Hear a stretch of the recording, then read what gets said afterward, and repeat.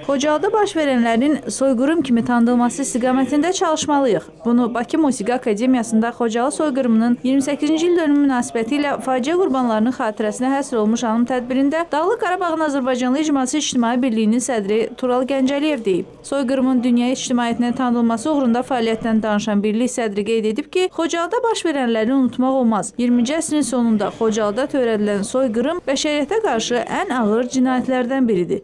Dünyanın ondan artıq ölkəsinin tanıdığı soyqırımı daha da ə, digər ölkələrin tanıması üçün bütün tədbirləri görməliyik və soyqırımı törətmiş ə, Ermənistanın keçmiş sabiq rəhbərləri Serj Sarkisyan, Robert Köçəryan və onların əlaltıları olmuş ə, Artur Qukasyan, Bako Sakyan kimi insanların hər birinin məsuliyyətə cəlb edilməsi və ə, bu soyqırıma görə Azərbaycan xalqı qarşısında cavab vermələrini biz tələb edəcəyik və bu da tezliklə baş verəcəkdir.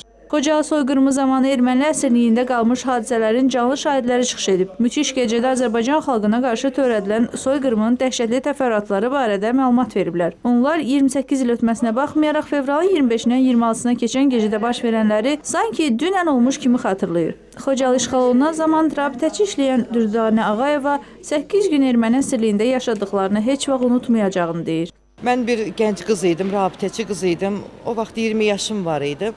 O siz televiziyalarda izlədiyiniz o cəsədlər olan yerdə Qaraqayanın üstündə mən güllə yarası alaraq əsir düşdüm, qardaşımla əsir düşdüm. Mən 8 gün əsirlik həyatı yaşadım. Yəni o 8 günü 5 3 1 saata insana çatdırmaq mümkün olmasa da mən onu deyəcəm ki, ermənilərin iç üzünü biz onda gördük, bizə nifrətini gördük. Çox acınacaqlı bir vəziyyətdə idi ki, orada körpələr çox idi, orada qadınlar çox idi. Mən həmişə söyləmişəm, kişi müharibə kişi üçündür, müharibə qadın üçün deyil. Kişi gedib döyüşər, kişi əsir düşər, nəsə də qadın üçün, uşaq üçün müharibə deyil. Bizim qadınlar, nə qədər qadınlarımız əsir düşdü, nə qədər uşaqlarımız, körpələrimiz o əsirlikdə o stresi, həyəcanı yaşadılar. Eyni zamanda mən. O zaman 12 yaşım vardı. Yuxudan bizi oyatdılar ki, e, Xocalını tərk etmək lazımdır. Ermənilər Xocalıya e, şəhərin e, baş baş hissəsindən ermənilər Xocalıya giriblər və biz yuxudan oyanaraq necə e, meşəyə doğru getdiyimizi e, özümüz də bilmədik. Və bir vaxt baxdıq ki, Qarqar çayını keçib e, Kətik meşəsinə doğru getmişik. Biz o qarlı meşədə e, əzab əziyyətlə Ağdam istiqamətinə gəlib çıxdıq. Hər zaman deyirlər ki, koridor yaratdıq, dəhliz yaratdıq Xocalılar üçün keçməyə, ancaq yalan deyirlər. Orada heç bir koridor, dəhliz söhbəti ola bilməzdi. Çünki onlar dinc əhalinin qarşısını kəsib uşaqdan böyüyə hamını güllədən keçirdilər.